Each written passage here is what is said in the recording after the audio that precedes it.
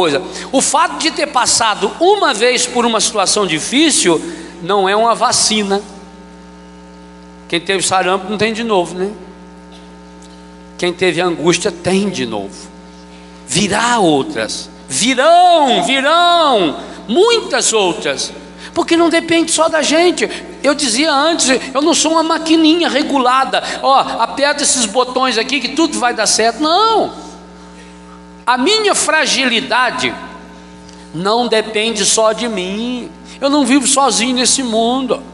Talvez o que depender de mim, eu até me esforce muito para dar tudo certo, para não fazer nenhuma bobagem, para não pecar. Nós temos que acreditar nisso. Do mesmo jeito que você tem boa intenção no seu coração e na sua cabeça, você tem que acreditar que as pessoas também têm boas intenções, mas que só isso não basta.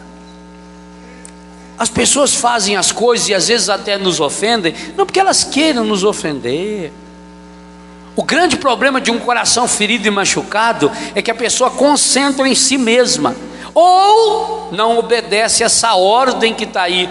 Guarda o teu coração, guarda. O teu coração é a coisa mais preciosa que tens. Meu filho, guarda o teu coração.